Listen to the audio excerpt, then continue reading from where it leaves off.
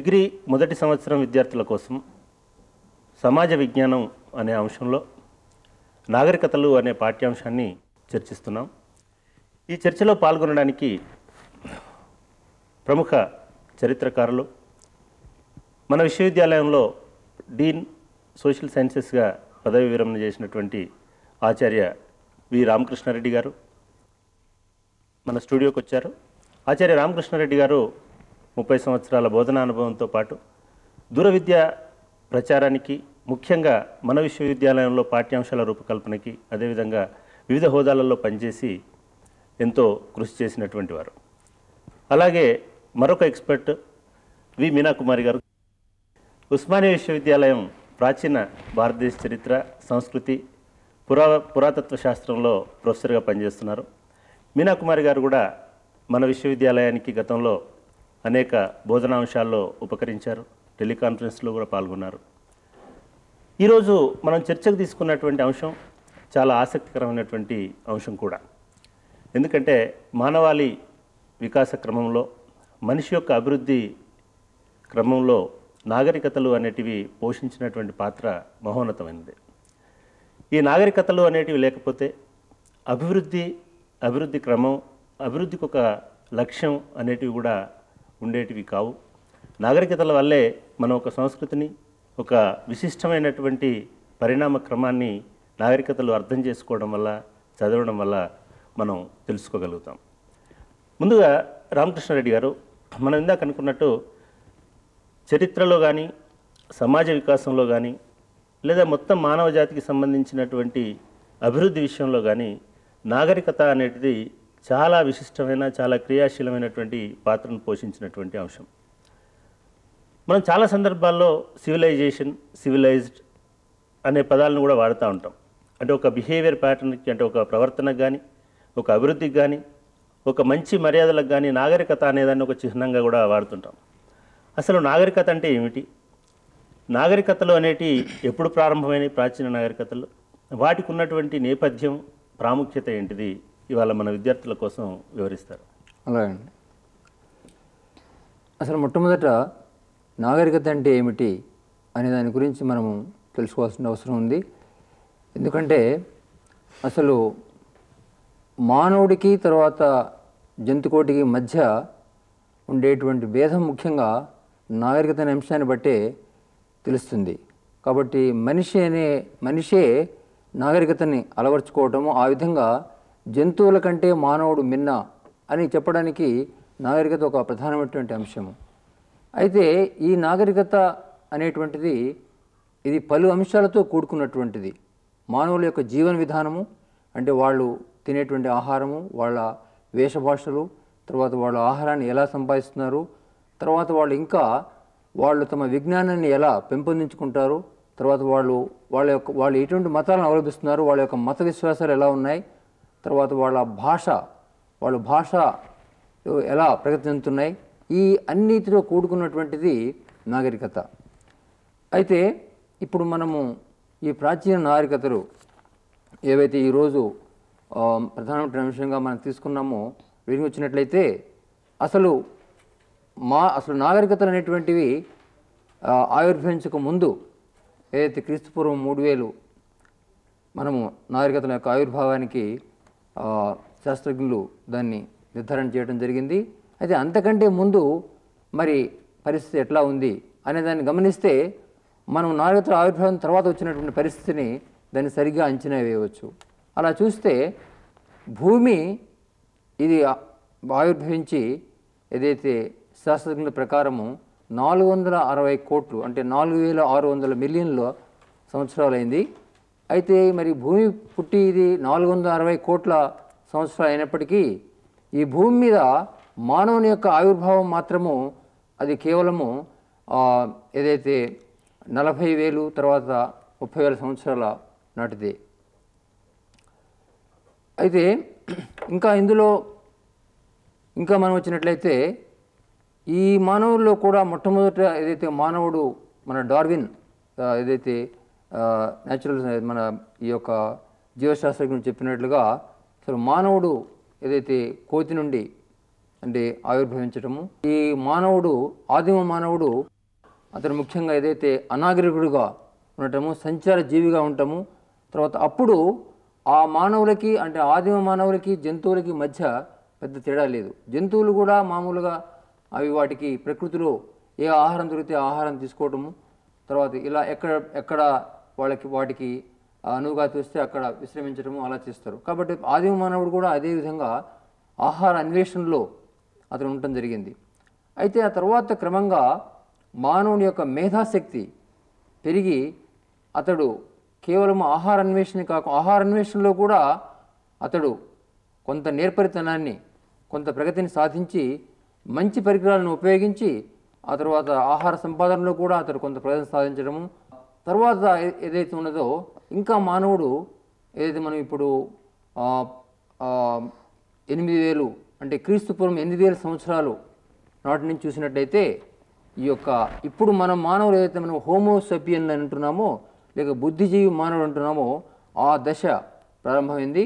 కాబట్టి ఆ దశ నుండి మానవుడి యొక్క మేధాశక్తి ఆలోచన శక్తి అది బాగా పెరిగి అతడు ప్రకృతిలో ఉండేటువంటి శక్తుల్ని ఏదైతే నీరు కానీ గాలి కానీ ఇంకా చెట్లు చీమలు కానీ భూమి కానీ వీటిని తన యొక్క అవసరాలకి ఎలా ఉపయోగించుకోవాలి ఎలా మలుచుకోవాలి అనేటువంటి దానిలో అతడు ఎంతో ప్రగతిని సాధించడం జరిగింది. ఆ విధంగా అతడు వ్యవసాయం అంతకుముందు ఏదైతే ఏది దొరికితే తినకుండా అతడు ఇప్పుడు తానే ఆహార ఉత్పత్తి అంటే మానవుడు ఆహార అన్వేషణ దశ నుండి అతడు ఆహార ఉత్పత్తి దశకు చేరటం జరిగింది.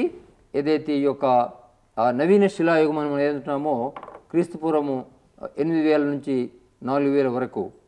ఆహార ఉత్పత్తితో పాటు అంతకుముందు సంచార జీవితం ఉండేది దాన్ని వదిలిపెట్టి అతడు స్థిర నివాసాన్ని అంటే ఒక చోట ఒక ప్రాంతంలో వాళ్ళు గృహాలు నిర్మించుకొని అక్కడ ఉంటాం కాబట్టి స్థిర నివాస జీవితం కూడా మొదలైంది ఈ యొక్క ఏదైతే నవీన శిలాయుగంలో. ఆ తర్వాత ఈ నవీన శిలాయుగం యొక్క దశ తర్వాత మనం చూస్తే చరిత్ర చరిత్ర గమనములో ఏదైతే ఈ మానవుడు ఏదైతే లోహాలు లోహాలుని అతడు ఖనిజాలని ఏదైతే భూ- భూమిలో ఉన్నటువంటి ఖనిజాలని రాగి ఆ తర్వాత తగరము ఇంకా ఆ తర్వాత ఇంకా ముందుకు వెళ్తే అతడు ఇనుము ఈ యొక్క లోహాలని అతడు కనుక్కొని జరిగింది ఆ లోహాల యొక్క వాడకము ఏదైతే క్రీస్తుపూర్వం మూడు వేల నుండి మొదలైంది. ఈ లోహాల యొక్క వాడకం ఎప్పుడైతే మానవుడు కనిపెట్టాడో అప్పుడు ఏదైతుందో మానవుని యొక్క నిజమైన నాగరిక దశ అనేటువంటిది ప్రారంభమైనట్లుగా మనకు శాస్త్రజ్ఞులు చెప్తున్నారు. గార్డెన్ చైల్డ్ అనేటువంటి పురావస్తు శాస్త్రజ్ఞుడు అతడు. అయితే ఈ యొక్క ఈ లోహాల యుగము కనుక్కోవడం ఎప్పుడైతే మొదలైందో క్రీస్తుపూర్వం మూడు వేల సంవత్సరాలకి అక్కడి నుండి ఎప్పుడైతే ఈ కనిపెట్టబడి వాటితో పాటు మానవుని యొక్క జీవన విధానంలో అనేకమైనటువంటి మార్పులు ప్రగతి వచ్చింది. ఎప్పుడైతే అంటే ఆహార ఉత్పత్తి అంతకుముందు మొట్టమొదట తమకు కావాల్సినంత వరకే వాళ్ళు ఉత్పత్తి చేసేవాళ్ళు. కానీ ఆ తర్వాత ఏం జరిగిందంటే ఈ యొక్క వ్యవసాయదారులకి ఇతర అవసరాలు ఉన్నాయి. వాళ్ళకు కుండలు కావాలి వాళ్ళకు ఇనుప వాళ్ళకి అరే మామూలుగా వ్యవసాయ పనిముట్లు చేసేవాళ్ళు కావాలి బట్టలు నేసేవాళ్ళు కావాలి ఇంకా ఆభరణాలు చేసేవాళ్ళు కావాలి ఇంకా చెప్పులు కుట్టేవాళ్ళు కావాలి. ఈ విధంగా వ్యవసాయదారుడికి కూడా ఇతర అవసరాలు ఉన్నాయి. ఆ ఇతర అవసరాలు తీర్చే వాళ్ళ వాళ్ళకి కావాల్సినటువంటి ఆహార ఉత్పత్తిని తాను చేస్తే వాళ్ళు ఉత్పత్తి చేసేటువంటి వస్తువుల్ని తాను తీసుకోవచ్చు అనేటువంటి ఈ యొక్క వస్తు వినిమయ పద్ధతి లేక ఎక్స్చేంజ్ అవుతుందో అది మొదలైంది. ఎప్పుడైతే ఈ యొక్క ఆహార ఉత్పత్తి కావాల్సిన దానికంటే ఎక్కువ చేయడం మొదలైందో అది కూడా నాగరికత దశ ప్రారంభం కావడానికి మరొక సూచన. దీనికి తోడు ఎప్పుడైతే ఈ యొక్క ఆహార ఉత్పత్తి ఎక్కువగా జరిగిందో ఇతరులకు కూడా ఆహార ఉత్పత్తి జరిగిందో ఎవరైతే వ్యవసాయం చేయరో వాళ్ళకు కూడా ఆహార ఉత్పత్తి లభిస్తుందో అప్పుడు వాళ్ళు ఇతర వృత్తులను అవలంబించారు. ఇతర వృత్తుల వాళ్ళు కూడా బయలుదేరారు. ఆ విధంగా అనేక ఇతర వృత్తులు బయలుదేరినాయి. ఆ తర్వాత క్రమంగా ఆ యొక్క వృత్తుల్లో నైపుణ్యం కూడా ఏర్పడింది. ఏంటంటే వాళ్ళు ఎప్పుడు అదే పని చేస్తుంటారు కాబట్టి ఆ వృత్తుల్లో నైపుణ్యం కూడా ఏర్పడింది. ఆ విధంగా శ్రమ విభజన లేక డివిజన్ ఆఫ్ లేబర్ అనేటువంటి ఏదైతే ఉందో అది కూడా ఏర్పడింది. దీనికి తోడు ఈ నాగరికతల యొక్క ఆవిర్భావానికి మరొక ముఖ్యమైనటువంటి సూచన ఏమిటంటే గార్డెన్ చైల్డ్ చెప్పినట్లుగా ఈ యొక్క లిపి లిపిని కనుక్కోవటం కూడా మొదలైంది క్రీస్తుపూర్వము మూడు వేల సంవత్సరాల నుండి. ఎప్పుడైతే ఈ లిపి యొక్క ఆవిర్భావం జరిగిందో అది కూడా మా ఈ యొక్క నాగరికతల యొక్క ఆవిర్భావానికి మరొక ముఖ్యమైనటువంటి సూచన. ఎందుకంటే మానవుడు తాను స్వయంగా కొంత నేర్చుకోవచ్చు. కానీ తాను నేర్చుకున్నటువంటి విషయాలు కూడా నేర్చుకోవడానికి ఇంకా ఇతరులకు చెప్పడానికి వాటిని నమోదు చేయడానికి ఈ యొక్క లిపి అనేటువంటిది చాలా ముఖ్యము. ఆ విధంగా లిపిని కనుక్కోవడం అనేటువంటిది కూడా నాగరికతల యొక్క ఆవిర్భావానికి ఒక సూచన. ఎప్పుడైతే లిపి కనుక్కోవడం మొదలైందో ఎప్పుడైతే అధిక ఉత్ప అధిక వ్యవసాయోత్పత్తి జరిగిందో ఎప్పుడైతే వృత్తులు అనేక వృత్తులు ఏర్పడ్డాయో అప్పుడు ఏదైతే ఉన్నదో ఈ యొక్క మానవులకి ఏదైతే వాళ్ళకి ఇతర అంటే మత విశ్వాసములు ఏర్పడ్డాయి అంటే దేవాలయ యొక్క నిర్మాణం చే చేపట్టారు. ఆ తర్వాత ఇంకా వాళ్ళు ఏదైతే సాహిత్యము తర్వాత గణితము ఖగోళ శాస్త్రము వీటిఎస్ తర్వాత మరి ఇన్ని అవసరాలు తీర్చడానికి మా అంటే ఒక సమాజం ఏర్పడింది. ఆ సమాజంలో వివిధ వృత్తుల వాళ్ళు చేసేటువంటి పనులు అందరికీ కూడా కావాల్సినటువంటి కొన్ని ఉన్నాయి. కాబట్టి మామూలు రహదారులు కానీ నీటిపారుదల కానీ ఇంకా పారిశుధ్యము ఈ అందరి అవసరాలు తీర్చడానికి ఒక కేంద్ర వ్యవస్థ కావాలి. ఆ విధంగా పరిపాలనా వ్యవస్థ పరిపాలకుడు అతని సిబ్బంది అనేటువంటిది కూడా ఏర్పడింది ఈ యొక్క నాగరికతల యొక్క ఆవిర్భావంతో థ్యాంక్ యూ రామకృష్ణారెడ్డి గారు. రామకృష్ణారెడ్డి గారు చెప్పినట్టు నాగరికత అనేది ఒక పరిపూర్ణమైనటువంటి ఆర్థిక సామాజిక రాజకీయ వ్యవస్థ ఏర్పరచుకొని దానికి అనుగుణంగా ప్రజలు ఉమ్మడిగా జీవించేటువంటి ఒక వ్యవస్థని మనం నాగరికత అని అంటున్నాం. అంటే వికసించినటువంటి పని పరిస్థితులు కావచ్చు లేదా శ్రమ విభజన కావచ్చు మిగతా అన్ని అవసరాలు కావచ్చు. అటువంటి వ్యవస్థలు ఏర్పడడం అనేది మనకి ఆ, రామకృష్ణారెడ్డి గారు చెప్పినట్టు క్రీస్తుపూర్వం మూడవ శతాబ్దం నుంచి ఆరవ శతాబ్దం నుంచి మూడవ శతాబ్దం వరకు జరిగిన పరిణామాలు. ఇక్కడ ఒక చరిత్రకారుడు చెప్పినటువంటి ఒక చిన్న కొటేషన్ గుర్తుకొస్తుంది. కొటేషన్ కూడా కాదు కొన్ని ఒక చిన్న రెఫరెన్స్ ఆయన ఏమంటాడంటే ఈ సృష్టి అనేది పుట్టి ఇరవై నాలుగు గంటలు అయింది అని అనుకుంటే అందులో మనిషి అనేవాడు ఇరవై మూడవ గంట యాభై తొమ్మిదవ నిమిషంలో పుట్టినాడు. అంటే లాస్ట్ మినిట్లో పుట్టింది మనిషి. ఈ లాస్ట్ మినిట్లో పుట్టిన మనిషి నాగరికుడుగా మారడానికి ఆ ఉన్న ఒక్క నిమిషంలో యాభై తొమ్మిది సెకండ్లు పట్టింది. లాస్ట్ సెకండ్లో మాత్రమే నాగరికుడు అయినాడు మీరు చెప్పినట్టు ఆరు వందల నాలుగు వందల అరవై కోట్ల సంవత్సరాల క్రితం ఈ సృష్టి ఆవిర్భవిస్తే దాదాపు కేవలం ముప్పై నలభై వేల సంవత్సరాల క్రితం మనిషి అనేవాడు పుడితే కేవలం ఒక పది నుంచి ఐదు వేల సంవత్సరాల క్రితం వరకు నాగరికత అనేది లేకుండా మనిషి బతకడం అనేది జరిగింది. అంటే సృష్టిలో ఏకాకిగా ఒంటరిగా బర్బరుడుగా సంచారజీవిగా ఉన్నటువంటి మనిషి అడవుల్లో మనం ఏదైతే దిమ్మరిగా తిరిగినటువంటి మనిషి ఒక స్థిర నివాసం ఏర్పాటు చేసుకొని స్థిరమైన సామాజిక సంబంధాలను ఏర్పాటు చేసుకొని స్థిరమైన పరిపాలనా వ్యవస్థను ఏర్పాటు చేసుకుని తనకంటూ ఒక పౌర జీవితాన్ని ఏర్పాటు చేసుకునేటువంటి క్రమాన్ని మనం నాగరికత అని అర్థం చేసుకోవచ్చు. మేడం ఇప్పుడు మనకు చరిత్రలో ఉన్నటువంటి నాగరికతల్లో ప్రధానమైనటువంటి నాగరికతలు ఇవి ముఖ్యంగా మనం చాలా సందర్భాల్లో హరప్ప మహేంద్ర గురించి ఈజిప్టియన్ నాగరికతల గురించి మెసపటోమియన్ నాగరికతల గురించి చెప్పుకుంటాం. ఈ మూడు నాగరికతలకు ఉన్నటువంటి విశిష్టత ఏంటిది? వాటికి ఉన్నటువంటి లక్షణాలు ఏమిటి? ఆర్థిక సామాజిక సాంస్కృతిక రంగాల్లో వాటికి ఉన్నటువంటి లక్షణాలు ఏమిటి అనేది చెప్తారా? రామకృష్ణారెడ్డి గారు ఇప్పుడు చెప్పినట్లే మనిషి ఆవిర్భవించిన తర్వాత నిదానంగా నాగరికతను డెవలప్ చేసుకుంటూ వచ్చాడు. తమాషా ఏంటంటే మనం చూడాల్సింది ప్రకృతి. అతను నీరు లేకపోతే వసించలేడు. నీరే జీవనానికి ఆధారం. ఇది ఎప్పుడైతే తెలుసుకున్నాడో దాన్ని అనుసరించి తను ఎదగడం మొదలుపెట్టాడు. మనం ఇప్పుడు మన నాగరికతలు మెస్పుటోమియా కానివ్వండి ఈజిప్ట్ కానివ్వండి లేదా హరప్పా కానివ్వండి ఇవన్నీ నదీ ప్రవాహ తీరాల్లోనే మనకి నాగరికతలు విస్తరించాయి. కారణం ఏంటంటే అతను డెవలప్ అవుతూ ఎదుగుతున్నాడు. ఎదుగుతూ కూడా తన ఎక్స్పెరిమెంట్స్ తను చేస్తూ వెళ్ళాడు. వెళ్తూ నదిని ఎలా తను ఉపయోగించుకోగలడు అన్నది తెలుసుకున్నాడు. ఒకటి వ్యవసాయానికే కావచ్చు తర్వాత రవాణా సౌకర్యానికి కూడా నదినే తను అలాగా ట్రేడు కామర్సు ఇట్లాంటివన్నీ కూడా వాణిజ్యం ఇవన్నీ కూడా అభివృద్ధి చెందాయి. వారు చెప్పినట్లు వస్తు మార్పిడి విధానం ఇదొకటి.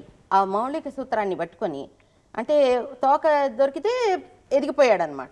ఆ స్థితికి నాగరికతల్లో మనకు ఈ నది చాలా తోడ్పడిందనే చెప్పచ్చు. మెస్పటోనియా తీసుకుంటే యూరప్టెస్ టైగ్రెస్ ఈ రివ ఈ నదులు ముఖ్యంగా తర్వాత ఈజిప్ట్ తీసుకుంటే నైలు నది హరప్ప తీసుకున్నప్పుడు దాని పేరే మనం సింధులోయ నాగరికత అని అంటున్నాం ఇవన్నీ కూడా ముఖ్యంగా నదీ ప్రవాహ తీరాల్లోనే ఎదిగాయి. ఎందుకు ఎదిగాయి? కారణం ఏంటి? కారణం ఏంటి అన్నప్పుడు ఇప్పుడే వ్యవసాయం ఇవన్నీ మనం చెప్పుకున్నాం కదా. ఈ రవాణా వసతి ఎప్పుడైతే ఎదగడం మొదలుపెట్టిందో అతను ఇతర దేశాలకు కూడా వెళ్ళడం మొదలుపెట్టాడు. ఇక్కడ తాగిపోలేదు ముఖ్యంగా నదిని సు సూక్ష్మంగా పరీక్షించడం మొదలుపెట్టాడు. ఆ నది ఎలా? ఆ నీరు ఎప్పుడొస్తుంది? ఆ ఒడి వేగం ఎప్పుడుంది? అది ఎప్పుడు తగ్గుతుంది? అంటే ఆ వరదలు ఇట్లాంటివి వచ్చినప్పుడు సారవంతమైనటువంటి నేల ఏర్పడుతుంది. ఆ ఒండ్రు మట్టి కొట్టుకొస్తోంది. అది వ్యవసాయానికి చాలా మూలం. ఇవన్నీ కూడా పరిశీలించాడు. పరిశీలించిన తర్వాతే తన స్థావరాలన్నీ అక్కడ నిలుపుకున్నాడని కూడా మనకు అనిపిస్తుంది. అలాగా ఎదుగుతూ వ్యవసాయానికి కానివ్వండి తర్వాత తన కావలసినవన్నీ చేర్చుకుంటూ ఆహార ఉత్పత్తి స్థితి వెళ్ళి ఆ ఉత్పత్తి ఎక్కువ అధికమైనప్పుడు రవాణా ద్వారా వాటిని పంపకాలు పెంచి తను కూడా అభివృద్ధి చెందుతూ వచ్చాడు. అయితే మొదటిలో తను పడ్డ అవస్థ కొంతవరకు కొంతవరకు తగ్గిందని చెప్పచ్చు. అందుకే ఇతర వృత్తుల మీద కూడా అతను పూర్తిగా దృష్టి సారించాడని అనిపిస్తుంది. ఆ టైంలోని కళలు రకరకాలైనటువంటి వాస్తు సంపద కానివ్వండి శిల్ప సంపద కానివ్వండి చిత్రలేఖనం కానివ్వండి సంగీతము నృత్యము ఇవన్నిటికీ కూడా అతను తన సమయం వెచ్చించడానికి అవకాశం ఏర్పడింది. అందుకని ఆ నాగరికతల్లో ప్రధాన లక్షణం ఏంటంటే ఆర్కియలాజికల్ ఎవిడెన్సెస్. ఇవన్నీ కూడా మనకు ఆర్కియాలజీ తరఫున మనకు అక్కడ కనిపిస్తున్నాయి. అవి అవి లిఖితపూర్వకం కానివ్వండి అలిఖితపూర్వకం కానివ్వండి.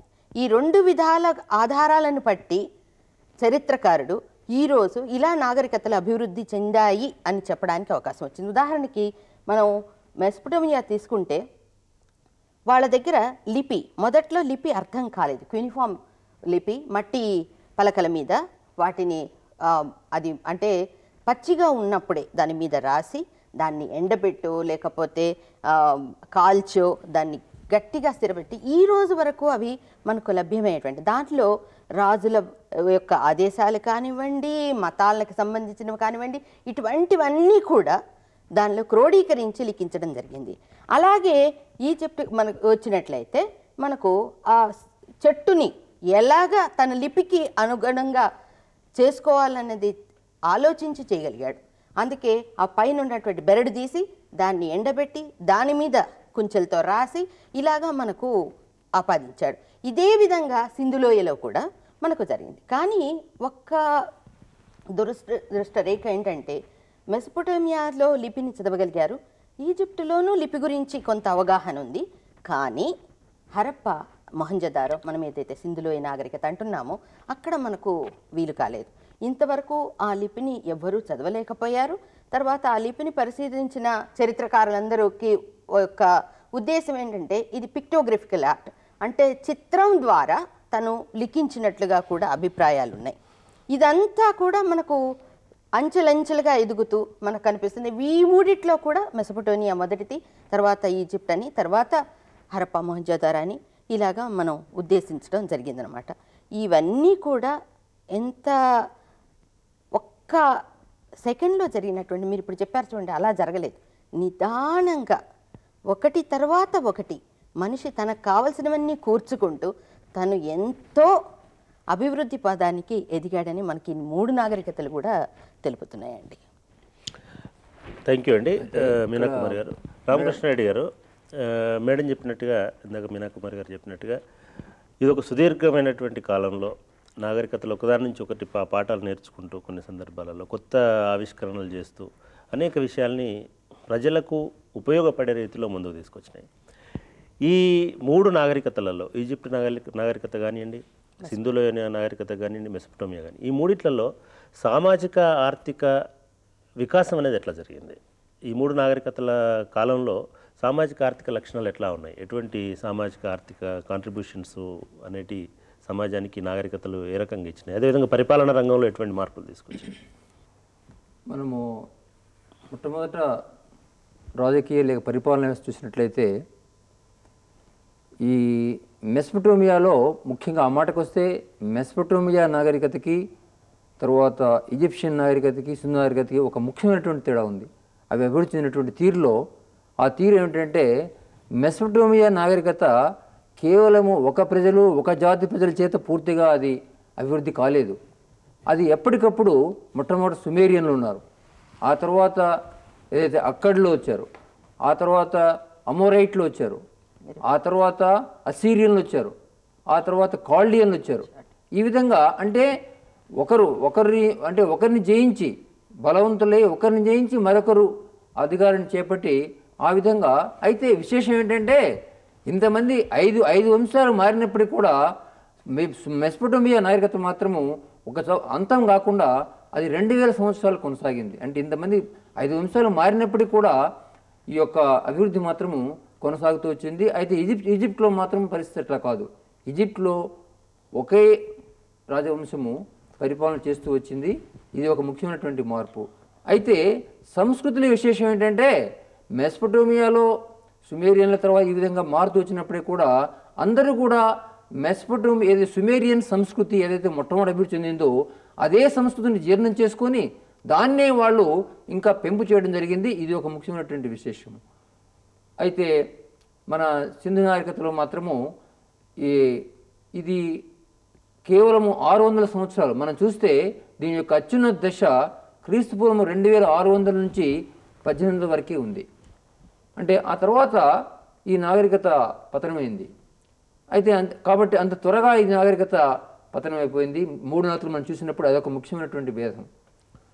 ఇకపోతే మనము రాజకీయ లేక పరిపాలన వ్యవస్థ చూస్తే మెస్పటోమియాలో ఏదైతే ఉన్నదో ఈ యొక్క చక్రవర్తి యొక్క ఆ మాటకు వస్తే ఈజిప్ట్లో కూడా. అయితే మనం సింధులో మాత్రం మనకు అసలు పరిపాలన వ్యవస్థ ఎలా ఉంది అనే విషయం మనకు తెలియదు. కానీ ఈ మిగతా రెండు నాగతుల్లో మాత్రము చక్రవర్తి లేక రాజు ఎవరైతున్నారో దాన్ని ఈజిప్ట్లో ఫారో అన్నారు. అయితే ఈ చక్రవర్తికి మాత్రము ఆ రోజుల్లో సంపూర్ణమైనటువంటి అధికారాలు ఉన్నాయి. పరిపాలనా అధికారాలు సైనిక అధికారాలు తర్వాత ఆర్థిక వ్యవస్థ మీద ఆ మాటకు వస్తే మత వ్యవస్థ మీద కూడా అధికారాలు ఉన్నాయి. ఎందుకంటే కొంతమంది మెస్పటోమియాలో ఆ తర్వాత ఫారోలు కూడా వాళ్ళే మతాధికారులు కూడా పనిచేశారు. కాబట్టి మత వ్యవస్థ మీద కూడా వాళ్ళకి పూర్తి పట్టు అజమాయిషి ఉంది. కాబట్టి ఆ విధంగా మనం చూస్తే కేంద్రీకృత పరిపాలనా వ్యవస్థ అనేది ఆ రోజుల్లో ప్రధానంగా నెలకొన్నది అని చెప్పాలి. ఇకపోతే అయితే రాజుకు సలహాదారులు ఉన్నారు ఇంకా ఇతర సిబ్బంది కూడా ఉంది. కానీ సర్వాధికారులు మాత్రము ఈ యొక్క చక్రవర్తి లేక ఫారో లేక అత్యున్నత అధిపతి చేతుల్లోనే ఉంది. ఇది ఒకటి. ఇకపోతే మీరు అన్నట్టుగా సామాజిక మరియు ఆర్థిక వ్యవస్థను మనం తీసుకుంటే ఆ రోజుల్లో సామాజిక వ్యవస్థను మనం చూస్తే ముఖ్యంగా ఈ యొక్క మెస్పటోమియా తర్వాత ఈజిప్షియన్ దీనిలో మనం చూసినట్లయితే ఏదైతే సమాజంలో కొన్ని వర్గములు ఉన్నాయి ఒక సుఖజీవుల వర్గం ఒకటి ఉంది తర్వాత ఏదైతే మామూలుగా సామాన్య వర్గం ఒకటి ఉంది శ్రామికుల వర్గం. అయితే ఆ సుఖజీవులు అంటే వాళ్ళకి జీవనంలో అనేక సుఖాలు అందినాయి వాళ్ళ యొక్క జీవితం ఎంతో సుఖవంతంగా ఉన్నతంగా నడిచింది. ఆ దానిలో ఎవరున్నారంటే ఈ యొక్క చక్రవర్తి రాజకుటుంబీకులు ఆ తర్వాత రాజు యొక్క ఉన్నతాధికారులు ఆ తర్వాత ఏదైతే భూస్వాములు ఇంకా ఎవరైతే భూమి మీద హక్కు ఉన్నటువంటి రైతులు వీళ్ళు ఈ వర్గం ఉన్నారు. ఇకపోతే సామాన్య వర్గము ఎవరైతే ఉన్నారో ఈ సామాన్య వర్గంలో మామూలుగా ఈ యొక్క భూమి లేని రైతులు తర్వాత కూలీలు. ఇంకా మనం చూస్తే ఇక్కడ ఏదైతే ఉన్నదో ఈ రెండు నాలుగులు కూడా బానిస వ్యవస్థ ఉంది. బానిసలు ఉన్నారు. మరి ఎవరయ్యా బానిసలు అంటే? ఎవరైతే అప్పు తీసుకొని అప్పును తిరిగి చెల్లించలేకపోతారో వాళ్ళందరినీ కూడా బానిసలుగా తీసుకున్నారు.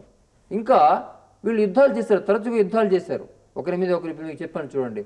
సుమేరియన్ల మీద అక్కడలు అక్కడ్ల మీద అమోరేట్లు. కాబట్టి ఈ దాడిలో ఎవరైతే ఓడిపోతారో ఆ ఓడిపోయి ఎవరైతే పట్టుబడతారో వాళ్ళందరినీ కూడా బానిసలుగా చేసుకున్నారు. ఈ బానిసల్ని కూడా మనం చూస్తే ఈ యొక్క రాజు రాజకుటుంబీకులు ఇంకా ఉన్నతాధికారులు వాళ్ళు బానిసల్ని మనకు మనకి చూసినట్టయితే ఒక్కొక్క కుటుంబంలో పెద్ద కుటుంబంలో నలుగురు ఐదుగురు బానిసల్ని తమ యొక్క సేవలకి వాళ్ళు వినియోగించుకున్నట్టుగా మనకు తెలుస్తుంది.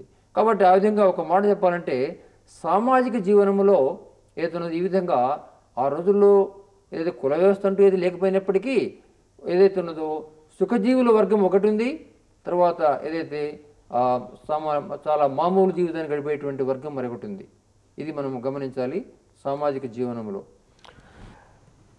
మీనాకుమారి గారు నాగరికత అనేటిది రామకృష్ణారెడ్డి గారు ఇందాక చెప్పుకుంటూ ఏ రకంగానైతే కొంత మంచి కూడా చేసిందో ప్రాచీన నాగరికతలు ముఖ్యంగా కొన్ని చెడు ఇన్స్టిట్యూషన్స్ను కూడా తీసుకొచ్చినాయి. ఇందాక సార్ చెప్తూ బానిస బానిస వ్యవస్థ రావడం కానీ లేదా ఇట్లాంటి అంతరాలు పెరగడం కానీ అంటే స్వేచ్ఛగా సంచార జీవితంలో ఉన్నటువంటి మనిషి ఒక స్థిర నివాసంలోకి వచ్చి ఒక వ్యవస్థ ఒక ఇన్స్టిట్యూషనలైజ్డ్ సిస్టమ్స్లోకి వచ్చిన తర్వాత చాలా ఇటువంటి అసమానతల్లోకి మిగతా వాటిలోకి వచ్చినట్టు కనబడతా ఉన్నది.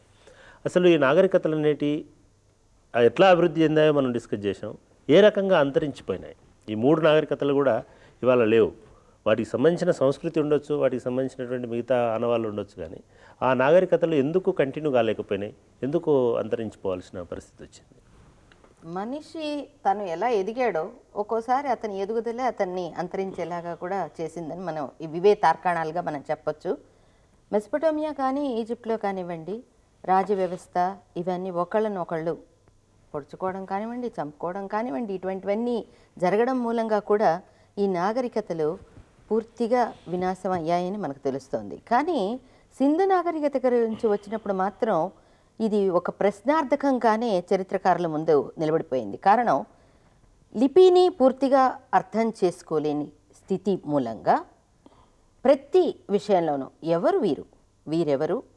వీరు ఇటువ ఎటువంటి మతాలను వీళ్ళు అవలంబించారు? తర్వాత ఒక్కసారిగా ఈ నాగరికత ఎందుకు దిగ పూర్తిగా వినాశమైంది అనే వాటికి మనకు కొన్నిటికి ప్రశ్నార్థకంగానే మిగిలిపోయాయి. వాటికి పూర్తిగా సమాధానాలు దొరకడం లేదు. ఎంతోమంది ఎన్నో రకాలుగా వాటి గురించి మాట్లాడారు. కొంతమంది ఈ నదిలో వరదలు వచ్చాయి వరదల మూలంగానే పూర్తి నాగరికత అంతా కూడా నాశనం అయిపోయింది అని కొంతమంది చెప్తే కొన్ని చోట్ల శవాలు కుప్పలు కుప్పలుగా కూడా దొరికాయి. మరి వీళ్ళెందుకు ఇలా అయ్యారు అనే దానికి ఎవ్వరూ సమాధానం చెప్పలేకపోతున్నాం. కొంతమంది అభిప్రాయంలో బహుశా వరదల మూలంగా వచ్చినటువంటి రోగాలు కూడా ఈ వినాశానికి కారణమేమో అన్నారే తప్ప అదే అని చెప్పలేదు. ఇలాగ రకరకాలైనటువంటి ఉండొచ్చు. అదే కుప్పలు కుప్పలుగా చనిపోయి తర్వాత రోడ్డు మీద పెద్ద పెద్ద నగరాలు కదండి. ఇక్కడ వీధులు విశాలంగా ఉన్నాయి. కొంతమంది శవాలు రోడ్ల మీద కూడా మనకు దొరికాయి. అంటే దాన్ని బట్టి రోడ్లో అలా చనిపోవడానికి కూడా అవకాశం ఎట్లా ఉంటుందంటే ఏదో శత్రువులు వచ్చి వీళ్ళని సంహరిస్తేనో ఇటువంటి ఏదో జరిగి ఉండాలి కాబట్టి ఇది ఇది ఇదే కారణము అని మాత్రం ఈ సింధు నాగరికత గురించి చెప్పడానికి మనకు ప్రస్ఫుటమైనటువంటి ఆధారాలు ఏం లభించడం లేదు. అందుకే ఎందుకు అలా అభివృద్ధి చెంది ఎందుకు వినాశానికి దారితీసింది అనేది కూడా ఈ విషయంలో మాత్రం మనకు ప్రశ్నార్థకంగానే నిలిచిపోయిందండి. ఈనాటి కార్యక్రమానికి మీరిద్దరూ వచ్చి దీన్ని విజయవంతం చేశారు. మా కార్యక్రమాలపై మీ సూచనలు సలహాలు తెలియచేయండి. మీ సూచనలు సలహాలు తెలియచేయవలసిన మా చిరునామా director audio visual production and research centre doctor B R Ambedkar open university professor G. Ramareddy mark road number forty six Jubilee Hills Hyderabad ఐదు సున్నా సున్నా సున్నా మూడు మూడు.